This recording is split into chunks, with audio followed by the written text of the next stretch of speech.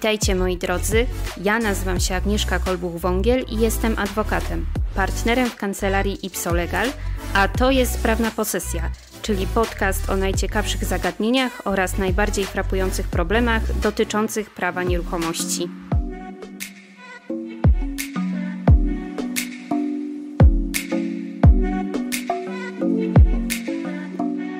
Dzisiejszy odcinek jest poświęcony umowie deweloperskiej. Opowiem Wam o tym, kiedy zawierana jest umowa deweloperska, o osobach, które mogą zawrzeć umowę deweloperską, a także o niezbędnych elementach oraz formie umowy deweloperskiej. Opowiem Wam również o tym, dlaczego roszczenie nabywcy wynikające z umowy deweloperskiej może być ujawnione w księdze wieczystej prowadzonej dla nieruchomości, na której jest realizowane lub ma być realizowane przedsięwzięcie deweloperskie.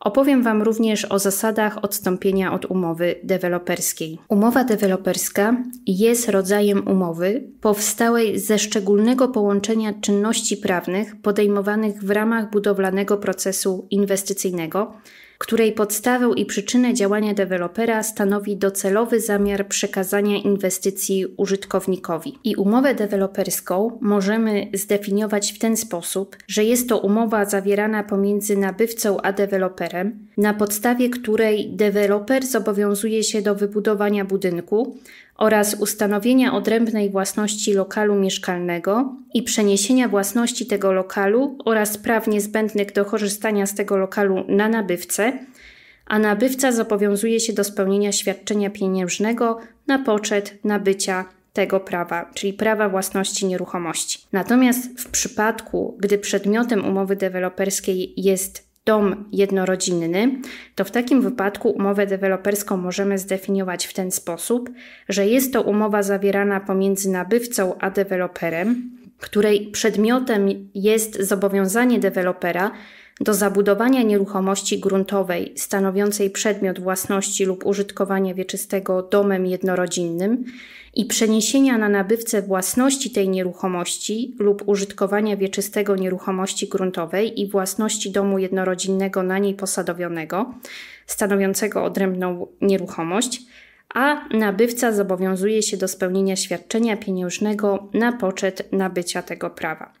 Czyli istotą umowy deweloperskiej jest to, że po stronie dewelopera możemy mówić o tak zwanym świadczeniu budowlanym. Stronami umowy deweloperskiej są deweloper i nabywca. Pojęcia te zostały zdefiniowane w ustawie o ochronie praw nabywcy lokalu mieszkalnego lub domu jednorodzinnego, zwanej potocznie ustawą deweloperską. I zgodnie z ustawą deweloperską, deweloperem jest przedsiębiorca, który w ramach prowadzonej działalności gospodarczej na podstawie umowy deweloperskiej zobowiązuje się do ustanowienia odrębnej własności lokalu mieszkalnego i przeniesienia własności tego lokalu na nabywcę albo do przeniesienia na nabywcę własności nieruchomości zabudowanej domem jednorodzinnym. Z tej definicji wynika, że po stronie dewelopera zawsze musi występować przymiot przedsiębiorcy, przy czym może być on zorganizowany w dowolnej formie, na przykład w formie spółki prawa handlowego, czy też osoby fizycznej prowadzącej działalność gospodarczą,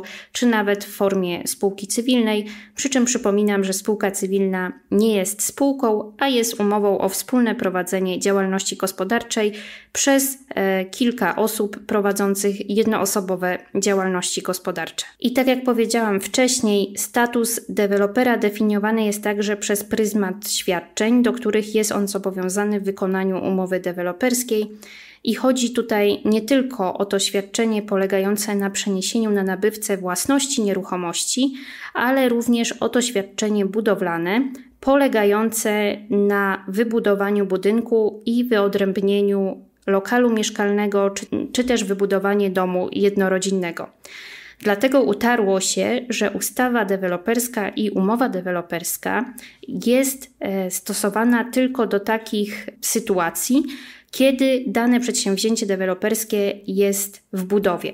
Czyli możemy sobie wyobrazić, że deweloper realizujący przedsięwzięcie deweloperskie rozpoczyna sprzedaż i ten budynek mieszkalny wielolokalowy, który jest przedmiotem tej inwestycji deweloperskiej, nie jest jeszcze wybudowany. I w takim wypadku zawiera się umowę deweloperską lub przedza się zawarciem umowy deweloperskiej umową rezerwacyjną i w takim wypadku mamy do czynienia z sytuacją, w której nabywca kupuje dziurę w ziemi. Co za tym idzie, w umowie deweloperskiej deweloper zobowiązuje się do wybudowania budynku lub też zabudowania nieruchomości budynkiem jednorodzinnym i w związku z tym mamy tutaj do czynienia z tym świadczeniem budowlanym. I tylko w takiej sytuacji, gdzie w umowie deweloper zobowiązuje się do spełnienia świadczenia budowlanego, mamy do czynienia z stanem faktycznym, w którym na gruncie ustawy deweloperskiej możemy zawrzeć umowę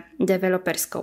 Jeżeli budynek jest już wybudowany i deweloper uzyskał pozwolenie na użytkowanie lub też zgłosił zakończenie budowy, a organ nie sprzeciwił się temu, to w takim wypadku obecnie deweloperzy zawierają z nabywcami umowy zobowiązujące do przeniesienia własności nieruchomości. Nie są to natomiast umowy deweloperskie, ponieważ brakuje już tego elementu wybudowania, czyli tego świadczenia budowlanego. I w związku z tym do takich sytuacji już nie ma zastosowania ustawa deweloperska, a co za tym idzie, w przypadku kiedy budynek jest już wybudowany, to najczęściej deweloperzy zawierają z nabywcami albo umowy rezerwacyjne mające cechy umowy przedwstępnej, albo też umowy przedwstępne i dopiero w wykonaniu tych umów zostaje przeniesiona na nabywcę własność nieruchomości, czy to lokalu mieszkalnego, czy też e, nieruchomości gruntowej zabudowanej domem jednorodzinnym. W ustawie deweloperskiej zdefiniowano również pojęcie nabywcy i terminem tym ustawodawca określa osobę fizyczną uprawnioną do nabycia prawa własności nieruchomości i zobowiązaną do zapłaty ceny na poczet nabycia tego prawa. I w związku z tym ta definicja ogranicza pojęcie nabywcy jedynie do osób fizycznych, z drugiej zaś strony nie wyłącza po stronie nabywcy możliwości bycia przedsiębiorcą, co generalnie oznacza, że nabywcą na gruncie obecnie obowiązującej ustawy deweloperskiej może być osoba fizyczna prowadząca jednoosobową działalność gospodarczą. I to się zmieni, ponieważ na gruncie nowo uchwalonej ustawy deweloperskiej ustawodawca postanowił zakończyć ten spór czy te domniemania, które w praktyce się pojawiały, i w związku z tym zdefiniował nabywcę w ten sposób, że jest to osoba fizyczna, która w celu niezwiązanym bezpośrednio z jej działalnością gospodarczą lub zawodową. I tym samym, właśnie w ten sposób, ustawodawca wyłączył z grona nabywcy osoby fizyczne prowadzące jednoosobową działalność gospodarczą, jeżeli to nabycie własności na, gruncie, na gruncie umowy z deweloperem jest związane z działalnością gospodarczą tej osoby lub z działalnością zawodową tej osoby.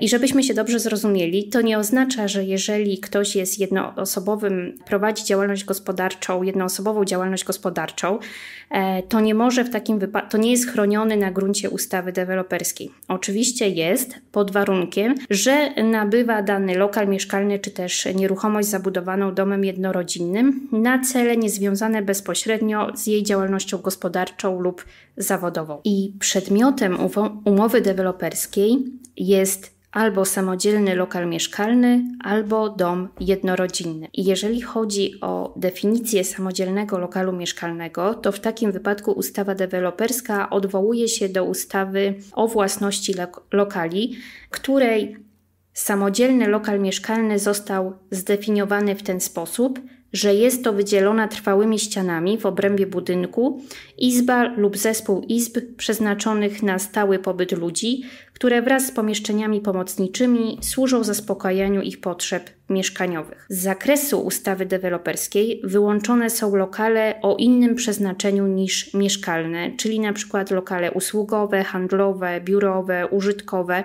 nawet jeżeli dopuszczają pobyt ludzi w celach mieszkalnych, np. apartamenty wakacyjne są tak naprawdę lokalami użytkowymi i jeżeli nabywamy taki apartament w ramach inwestycji, czy też kondo hotelu, czy też apart hotelu, to w takim wypadku my nie nabywamy lokalu mieszkalnego, ale lokal użytkowy. I w związku z tym do takich inwestycji ustawa deweloperska, a co zatem idzie umowa deweloperska, nie będą miały zastosowania. Z lokalem mieszkalnym mogą być związane pomieszczenia przynależne, np. komórka lokatorska, i w ten sposób mogą one wchodzić w skład przedmiotu umowy deweloperskiej. Umowa deweloperska powinna również wskazywać wielkość udziałów przypadających nabywcy w nieruchomości wspólnej. Czyli taką nieruchomością wspólną jest e, zarówno nieruchomość gruntowa, jak i budynek wielolokalowy, na której, mm, który jest posadowiony na danej nieruchomości i w związku z tym w umowie deweloperskiej powinny zostać wskazane wielkość udziałów przypadających nabywcy w takiej nieruchomości. Co jest bardzo ważne i o czym bardzo dużo osób nie wie,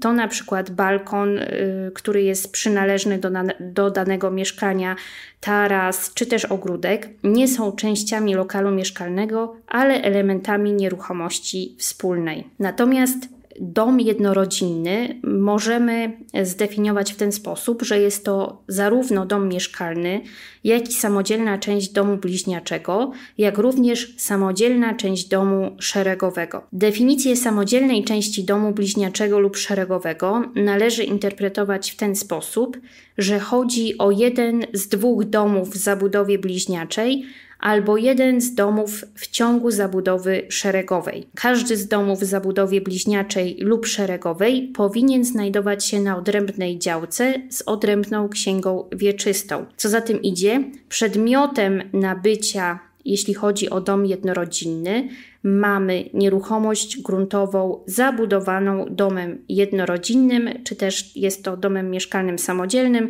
czy też samodzielną częścią domu bliźniaczego, lub też samodzielną częścią domu szeregowego. I przy zabudowie bliźniaczej, czy też szeregowej, podziału nieruchomości możemy dokonać e, zarówno przed rozpoczęciem budowy, jak i w jej trakcie, albo po wybudowaniu, i do tego stosuje się przepisy artykułu 95 ustawy o gospodarce nieruchomościami. W przypadku domu jednorodzinnego w zabudowie bliźniaczej czy też w zabudowie szeregowej bardzo ważne jest to, w jaki sposób przedsięwzięcie deweloperskie i przedmiot tego przedsięwzięcia deweloperskiego został zdefiniowany w decyzji o pozwoleniu na budowę. Zdarza się czasami tak, że nie mam, że nawet jeżeli wizualnie mamy do czynienia e, z zabudową szeregową, to nie możemy mówić tu o samodzielnej części domu szeregowego, ponieważ w tej zabudowie szeregowej mamy lokale mieszkalne. I zwykle w takim przypadku jest wydawana decyzja o pozwoleniu na budowę budynku wielolokalowego, gdzie przedmiotem właśnie tej decyzji są lokale mieszkalne w zabudowie szeregowej. I co powinno zostać zawarte w umowie deweloperskiej? Ustawodawca w ustawie deweloperskiej wskazuje nam minimalną treść umowy deweloperskiej i w związku z tym umowie deweloperskiej w pierwszej kolejności powinniśmy określić strony, miejsce i datę podpisania umowy deweloperskiej, a także cenę nabycia prawa, czyli nabycia prawa własności nieruchomości, czy to lokalu mieszkalnego, czy to nieruchomości zabudowanej, e, gruntowej zabudowanej budynkiem. Cena musi zawierać w sobie podatek od towarów i usług, czyli musi zostać wskazana wartość brutto oraz ewentualne inne elementy cenotwórcze. Umowa deweloperska może, lecz nie musi wskazywać czynniki kształtujące wysokość ceny. Czyli możemy w umowie deweloperskiej wskazać cenę wprost, możemy wskazać elementy, które składają się na wartość brutto, czyli na przykład nabywamy lokal mieszkalny za cenę brutto X oraz e, prawo do wyłącznego korzystania z miejsca postojowego znajdującego się w garażu podziemnym, określonego szczegółowo jakimś numerem za cenę Y oraz na przykład komórkę lokatorską za cenę Z. I to nam się składa na cenę nabycia, e, całościową cenę nabycia w umowie deweloperskiej. Możemy też określić cenę w ten sposób, że będzie ona stanowiła wartość brutto, czyli iloczyn na przykład metrów kwadratowych powierzchni danego lokalu mieszkalnego i ceny za metr kwadratowy tego lokalu. I w ten sposób też ceny w umowie deweloperskiej najczęściej są określane. Jeśli chodzi o postanowienia dotyczące waloryzacji ceny nabycia, to najczęściej odnoszą się one do dwóch sytuacji. Po pierwsze, jest to zmiana wysokości stawki podatku od towarów i usług, czyli podatku VAT. Waloryzacja ceny nabycia odnosi się również do sytuacji, w której mamy różnicę pomiędzy powierzchnią przedmiotu umowy określoną w umowie deweloperskiej, a jego powierzchnią użytkową ustaloną w wyniku pomiarów powykonawczych. Może się bowiem okazać, że na przykład w wyniku pomiarów powykonawczych ta powierzchnia będzie mniejsza lub większa niż ta, która została określona w umowie deweloperskiej. I co za tym tym idzie, w praktyce przyjmuje się, że jeżeli ta różnica jest mniejsza, czy też wynosi 2%, to w takim wypadku tutaj strony nie zmieniają tej ceny, nie dokonują waloryzacji ceny nabycia. Natomiast jeżeli ta mm, różnica pomiędzy powierzchnią przedmiotu umowy określoną w umowie deweloperskiej, a jego powierzchnią użytkową ustaloną w wyniku pomiarów powykonawczych przekracza tą dozwoloną normę 2%, to w takim wypadku strony dokonają waloryzacji ceny ceny nabycia i w najczęściej wtedy w umowie deweloperskiej ustalają wartość metra kwadratowego. Na podstawie tej kwoty będzie, dokonane, będzie dokonana waloryzacja ceny nabycia prawa. Następnie w umowie deweloperskiej musi się znaleźć informacja o nieruchomości, na której Przeprowadzone ma być przedsięwzięcie deweloperskie. W szczególności taka informacja musi obejmować informacje o powierzchni działki, stanie prawnym nieruchomości. W szczególności musi zostać oznaczony właściciel lub użytkownik wieczysty.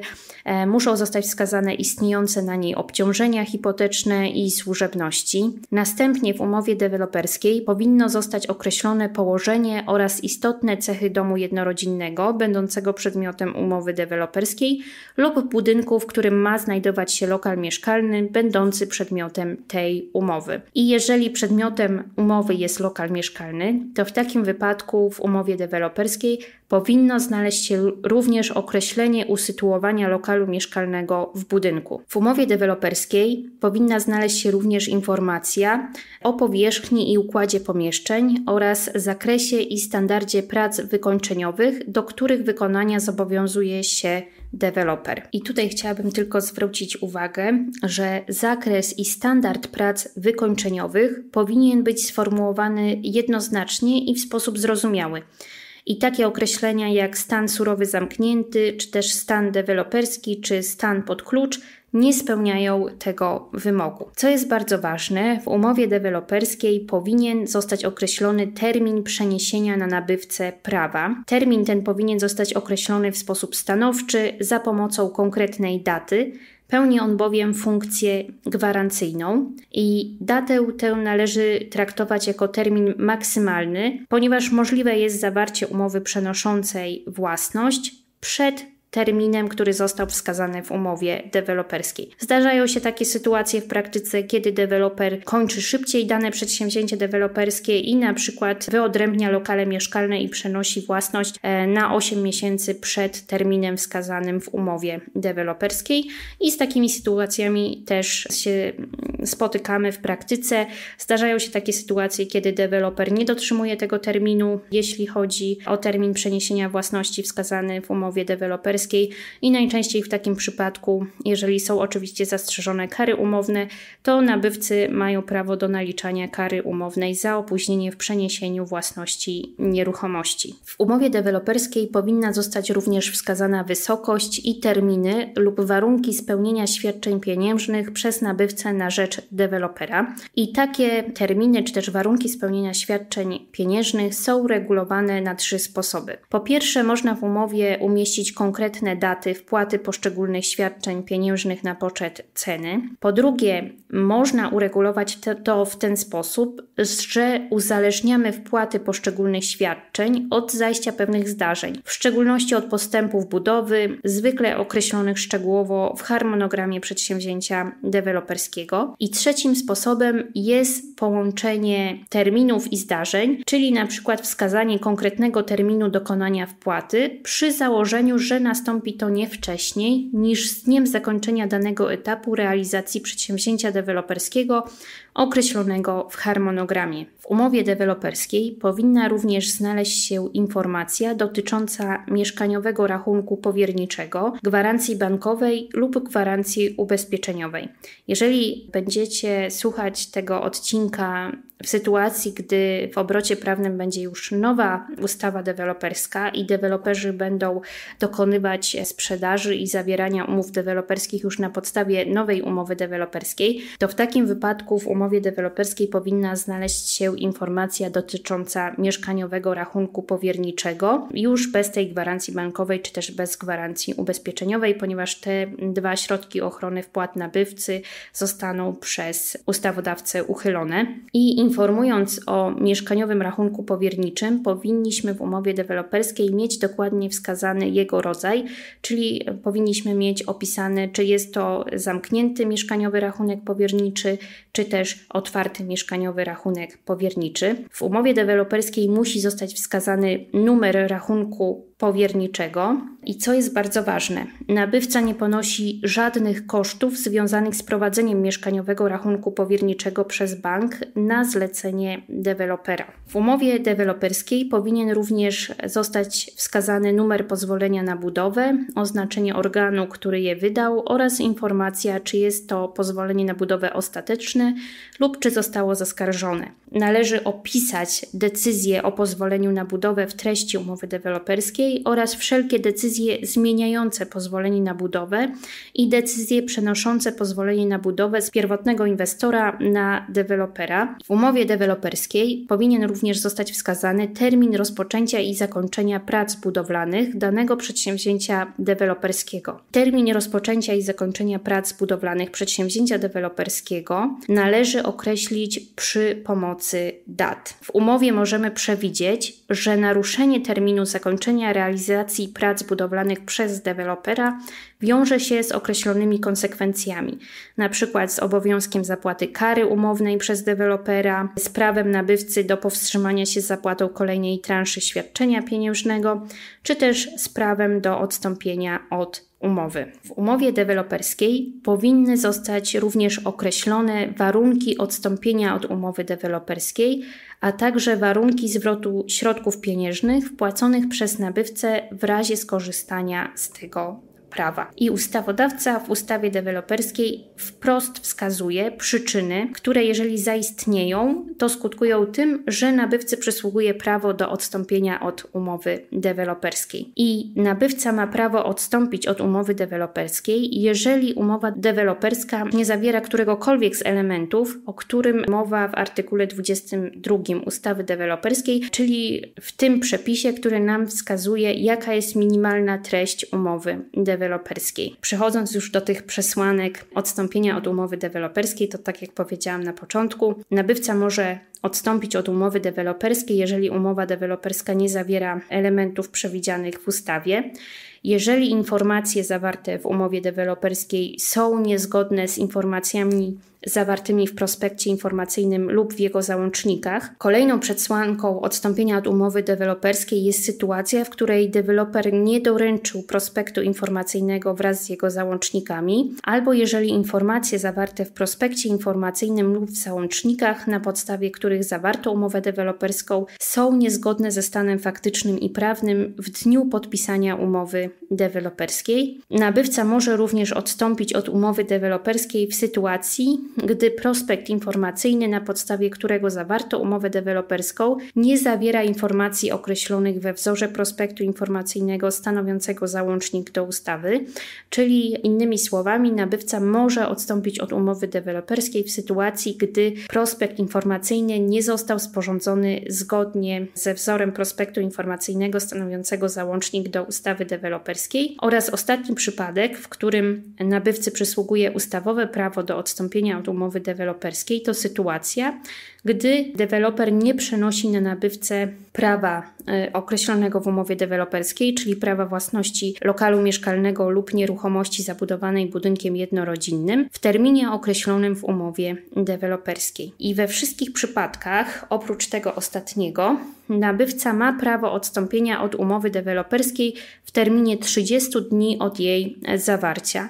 Natomiast w przypadku, gdy deweloper nie przenosi na nabywcę prawa własności nieruchomości w terminie wskazanym w umowie, to nabywca przed skorzystaniem z prawa do odstąpienia od umowy deweloperskiej wyznacza deweloperowi 120-dniowy termin na przeniesienie prawa, a w razie bezskutecznego upływu wyznaczonego terminu jest uprawniony do odstąpienia od umowy. I w takim wypadku nabywca zachowuje roszczenie z tytułu kary umownej za okres opóźnienia. Deweloper natomiast ma prawo odstąpić od umowy deweloperskiej w przypadku niespełnienia przez nabywcę świadczenia pieniężnego w terminie lub wysokości określonej w umowie deweloperskiej, mimo wezwania nabywcy w formie pisemnej do uiszczenia zaległych kwot w terminie 30 dni od dnia doręczenia wezwania, chyba że to niespełnienie przez nabywcę świadczenia pieniężnego jest spowodowane działaniem siły wyższej. Czyli w sytuacji, w której nabywca opóźnia się ze spełnieniem świadczenia na rzecz dewelopera, czyli na przykład świadczenie nabywcy jest podzielone na kilka transz i nabywca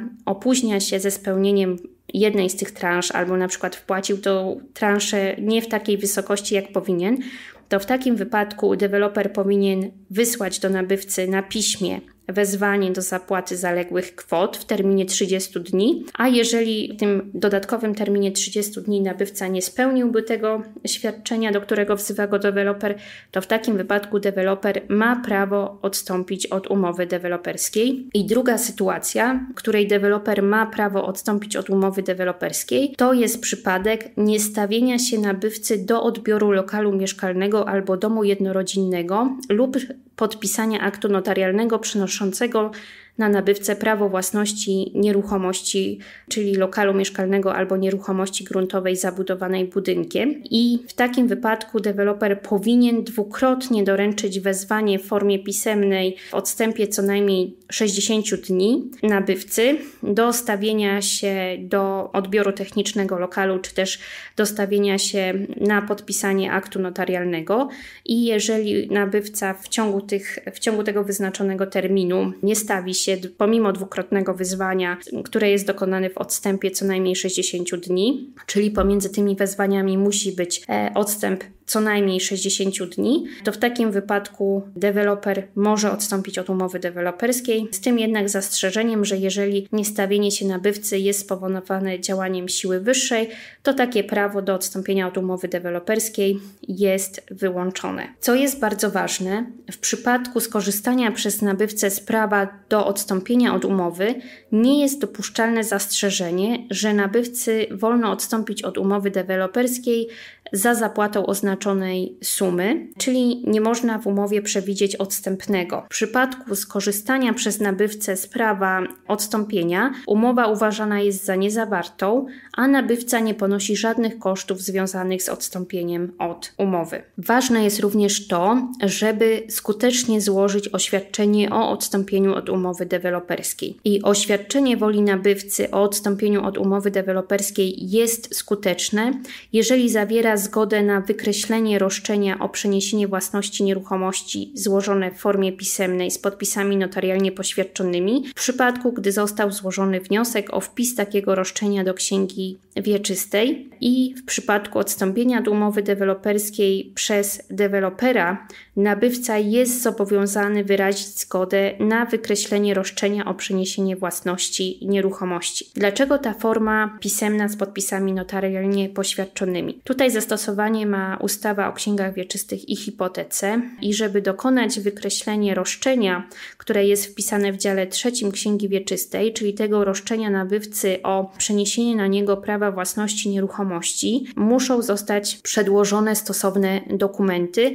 I tutaj ustawa o księgach wieczystych e, i hipotece zastrzega, że do wykreślenia prawa wpisanego w księdze wieczystej musi zostać, czeka zgoda na wykreślenie tego prawa musi zostać udzielona w formie pisemnej z podpisami notarialnie poświadczonymi. Więc jeżeli korzystalibyście kiedyś z tego uprawnienia do odstąpienia od umowy deweloperskiej, to warto również pamiętać o tym, żeby skutecznie odstąpić od umowy deweloperskiej i złożyć to oświadczenie o odstąpieniu od umowy deweloperskiej wraz z wyrażeniem zgody na wykreślenie roszczenia o przeniesienie własności nieruchomości i e, takie oświadczenie wraz z tą zgodą powinno zostać zawarte w formie pisemnej z podpisami notarialnie poświadczonymi. Umowa deweloperska powinna również określać wysokość odsetek i kar umownych dla stron umowy deweloperskiej. I zastrzeżenie w umowie kary umownej musi odpowiadać regułom wynikającym z artykułu 483 kodeksu cywilnego. Na rzecz dewelopera mogą zostać zastrzeżone odsetki za opóźnienie w spełnieniu świadczenia pieniężnego, czyli za opóźnienie w zapłacie części ceny i wysokość odsetek zastrzeżonych na rzecz dewelopera nie może przewyższać kar umownych zastrzeżonych na rzecz nabywcy. Na rzecz nabywcy może zostać zastrzeżona kara umowna za niespełnienie świadczenia niepieniężnego E, i kara umowna powinna dotyczyć przynajmniej nieprzeniesienia przez dewelopera prawa własności e, nieruchomości w terminie określonym w umowie deweloperskiej. I także w umowie deweloperskiej można zastrzec, że kara umowna należna nabywcy może zabezpieczać terminowość przedstawienia przedmiotu umowy do odbioru technicznego.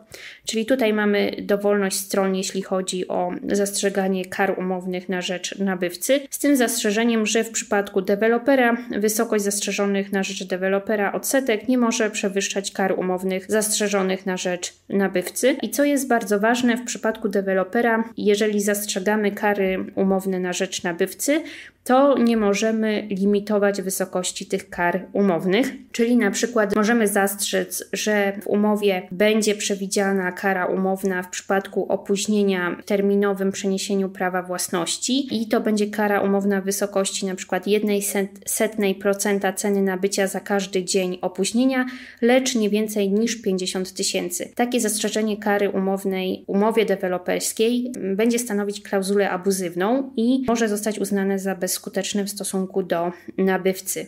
Czyli deweloperzy nie mogą limitować wysokości kar umownych zastrzeżonych na rzecz nabywcy. W umowie deweloperskiej powinniśmy również wskazać sposób pomiaru powierzchni lokalu mieszkalnego. Musi się również znaleźć oświadczenie nabywcy o odbiorze prospektu informacyjnego wraz z załącznikami i zapoznaniu się przez nabywcę z ich treścią, a także informacja o zgodzie lub braku zgody banku lub innego wierzyciela zabezpieczonego hipoteką na bezobciążeniowe wyodrębnienie lokalu mieszkalnego lub przeniesienie własności nieruchomości zabudowanej. W umowie deweloperskiej mogą znaleźć się również dodatkowe, tak zwane opcjonalne elementy treści umowy deweloperskiej i między innymi są to postanowienia określające zasady zarządu nieruchomością wspólną, postanowienia wyrażające zgodę nabywcy na podział nieruchomości wspólnej do korzystania przez jej współwłaścicieli, postanowienia wyrażające zgodę nabywcy na dysponowanie nieruchomością wspólną przez dewelopera w celu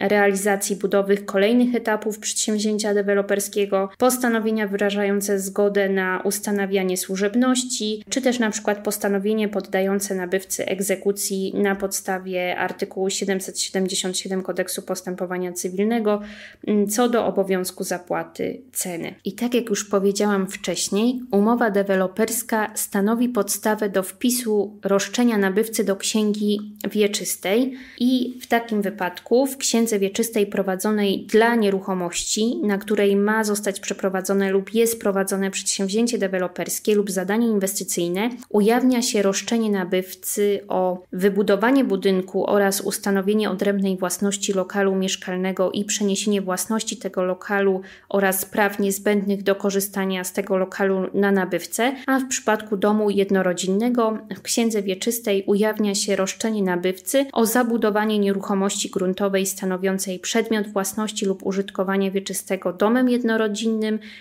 i przeniesienie na nabywcę własności tej nieruchomości zabudowanej lub też przeniesienie na nabywcę użytkowania wieczystego nieruchomości gruntowej i własności domu jednorodzinnego na niej posadowionego, stanowiącego odrębną nieruchomość. Umowa deweloperska stanowi podstawę wpisu do księgi wieczystej roszczenia nabywcy. Księdze wieczystej prowadzonej dla nieruchomości, na której ma zostać przeprowadzone lub jest prowadzone przedsięwzięcie deweloperskie lub zadanie inwestycyjne, ujawnia ujawnia roszczenie nabywcy o wybudowanie budynku oraz ustanowienie odrębnej własności lokalu mieszkalnego i przeniesienie własności tego lokalu oraz praw niezbędnych do korzystania z tego lokalu na nabywcę, lub też w przypadku domu jednorodzinnego w takiej księdze wieczystej ujawnia się roszczenie nabywcy o zabudowanie nieruchomości gruntowej stanowiącej przedmiot własności i przeniesienie własności tej nieruchomości na nabywcę.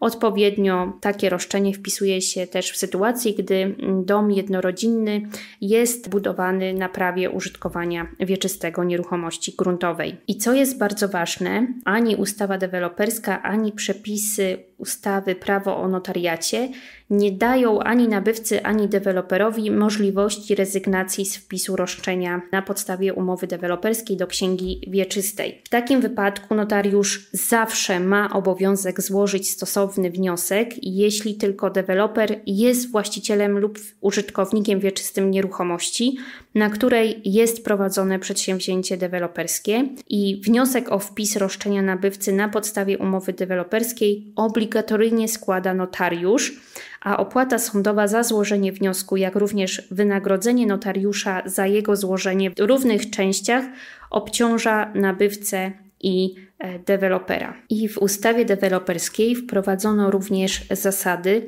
że postanowienia umowy deweloperskiej mniej korzystne na nabywców aniżeli przepisy ustawy deweloperskiej są nieważne, a w ich miejsce stosuje się odpowiednie przepisy ustawy. Ochrona nabywcy polega zatem na poddaniu stosunku prawnego ukształtowanego umową deweloperską działaniu tzw. Tak norm semi-imperatywnych, chroniących jednostronnie nabywcę, tak jak w przypadku ochrony konsumenta, czy też ochrony pracownika na podstawie mm, kodeksu pracy.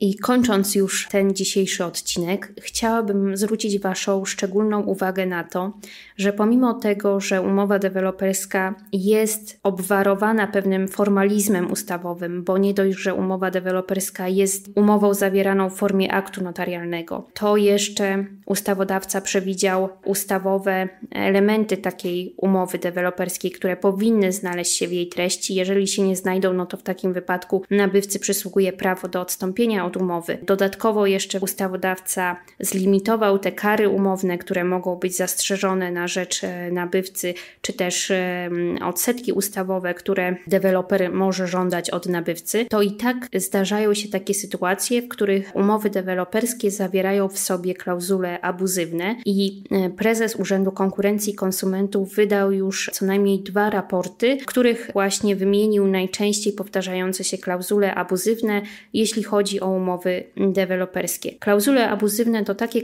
klauzule, które w sposób rażący naruszają interesy konsumenta, czyli nabywcy, są jednocześnie jednostronnie ustalane przez dewelopera we wzorze umowy deweloperskiej, która jest przedstawiana temu nabywcy.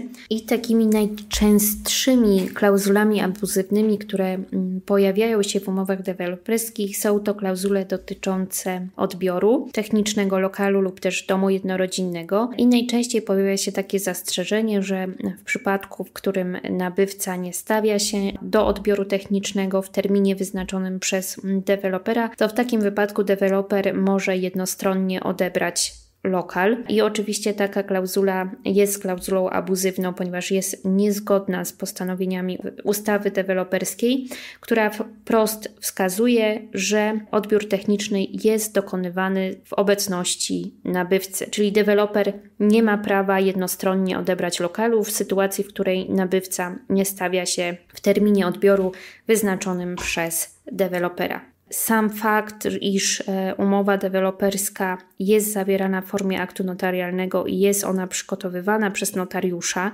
nie oznacza, że rejent w przypadku stwierdzenia, że w umowie deweloperskiej są klauzule abuzywne, może odmówić sporządzenia tego aktu i zawarcia takiej umowy deweloperskiej w jego obecności. Dlatego zawsze warto skonsultować taką umowę deweloperską z prawnikiem. Przed podpisaniem umowy deweloperskiej deweloper powinien dostarczyć nabywcy prospekt informacyjny, a załącznikiem do takiego prospektu informacyjnego jest właśnie wzór umowy deweloperskiej, która będzie zawierana w przyszłości pomiędzy nabywcą i deweloperem.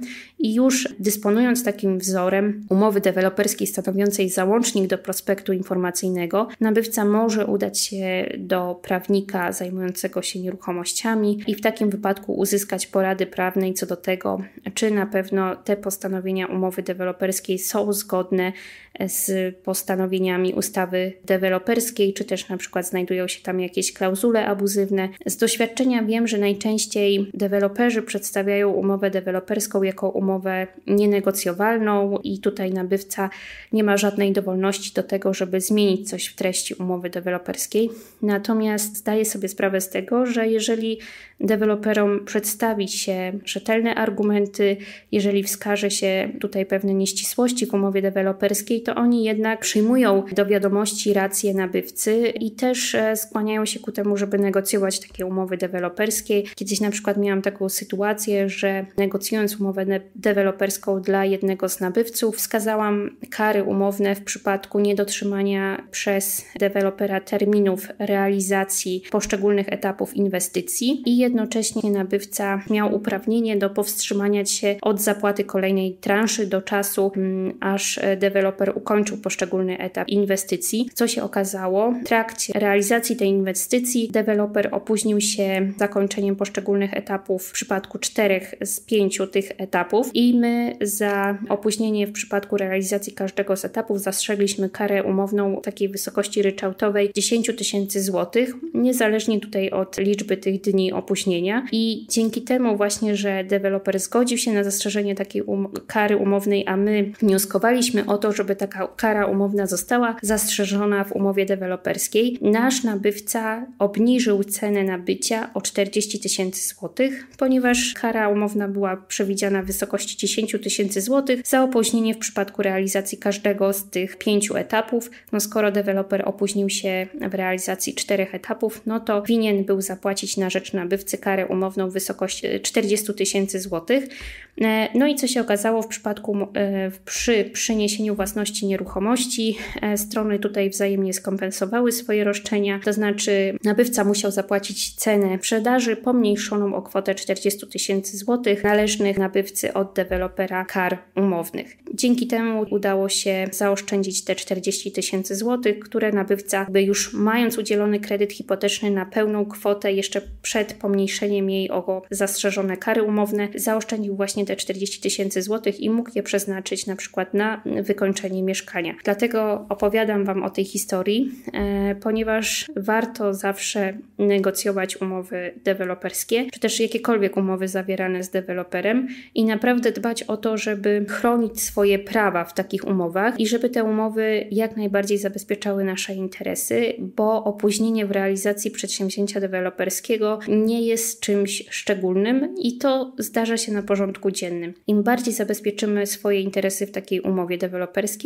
tym większe korzyści osiągniemy później. I też tutaj deweloper będzie czuł pewnego rodzaju respekt przed takim nabywcą, jeśli chodzi o wykonywanie tych postanowień związanych z umową deweloperską.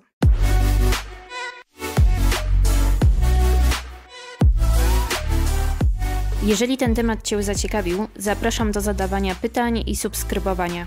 Zapraszam Cię również do odwiedzenia naszej strony internetowej www.prawnaposesja.pl.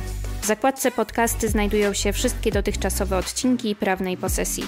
Jeżeli chcesz być na bieżąco z nowinkami dotyczącymi prawa nieruchomości, zapraszam Cię do śledzenia naszych kont w mediach społecznościowych, na Facebooku i na Instagramie. Wystarczy w wyszukiwarce wpisać ipsolegal oraz do dołączenia na Facebooku do grupy Prawna Posesja. Ja tymczasem dziękuję za dzisiejszy odcinek i już teraz zapraszam Cię na kolejny. Do usłyszenia w następnej prawnej posesji.